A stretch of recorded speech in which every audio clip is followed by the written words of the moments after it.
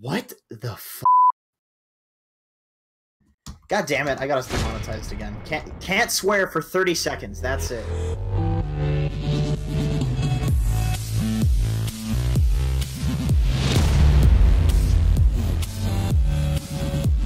Uh, so we the, the, replay review session is like all of our replay review sessions are for everybody. It's just that for the, the actual replays that we're doing are our Patreon supporters. If um, we do run out, we may take some other game, other Patreon or non-Patreon replays, but we got to show love to the people that are showing love to us. So I just wanted to go back to this particular moment because camera work is a lot allows you to decide where to move. So right now we see if you are looking at the minimap, you see shit is going down in the bottom lane.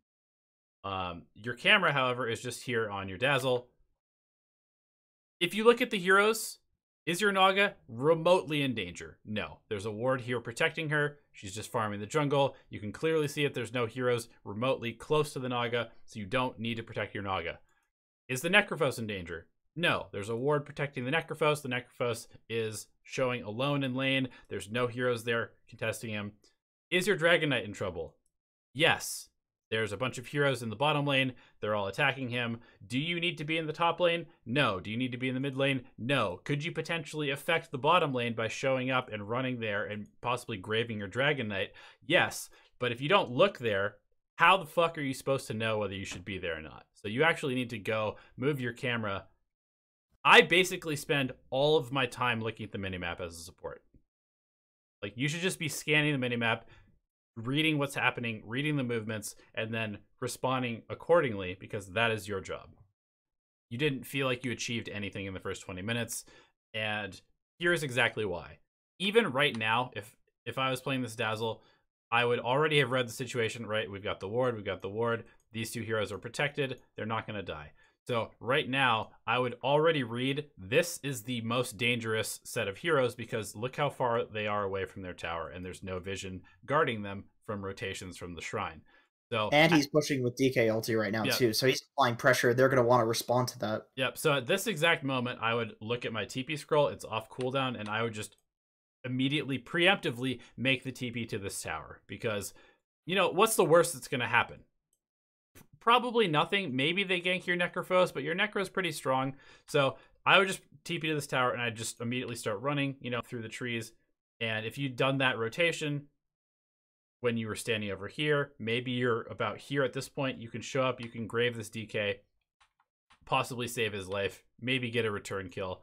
Um, and we're going to see why you didn't feel like you got anything done because, okay, now you moved your camera there. We just watched you do that.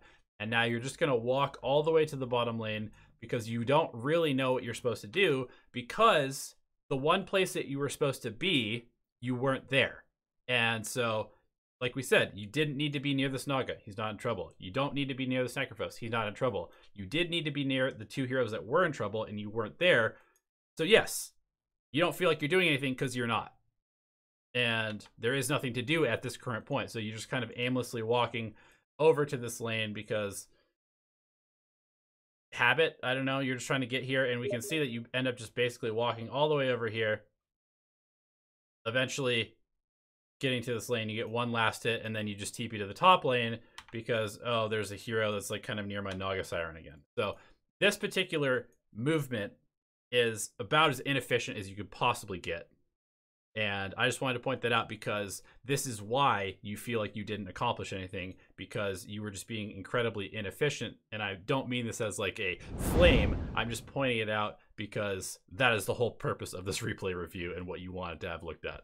When you're a support, uh, the way that you're protecting this Naga is by warding up here and then letting him play on his own and farm and making space on the enemy side of the map like with your team. So basically, like you don't want to be playing this Naga right now because he's not strong. He wants to be farming. Your DK strong, your Necro strong. You want to be playing with them, giving Naga the space on the uh, opposing side of the map, forcing the entire team down there, and then your jungle is free for the Naga to farm because the enemy team's gonna be so busy dealing with you, the Naga can just free farm up here. But you've been kind of following the Naga around, which I understand because you guys are friends and you're party queuing. But in general, like Naga wants nobody to be around her. Like Necro shouldn't be here either because Naga wants to be farming all of this. Naga wants to be level 12 right now, not level 8. You know, like this hero wants to be just completely ignored and nobody knows that she exists. But if you're there, you're you know, you and Naga is like that's two heroes. That's like half your almost half your team. So like if you're there, it's gonna draw people there. You want to draw people away from your Naga Siren. And like I said, generally like that's been the case for the last one to two years. That's like the typical kind of four protect one. You protect her by going away from her. The meta might change, but as of right now, like there's going to be an anti mage, a Terrorblade, a Naga uh, on your team that you don't want to play near them. You want to play near your heroes that want to fight at that moment. Like that bottom tower, you could have that if you're down there with the uh, with the DK. And that goes back to what Donnie was doing when he initially started uh, looking at like your camera mo- movement and stuff. Uh, basically, like you want to look at the heroes on your team, the heroes on the enemy team, be like, who wants me to be near them right now? Who wants to fight right now? Go to them. Like go to the heroes that want to fight and just be as strong as you can with that group of heroes, and then let your farmers farm. Let let your heroes do their job. You know, you don't need to be helping Naga farming the jungle because she can do that on her own as long as she has a ward.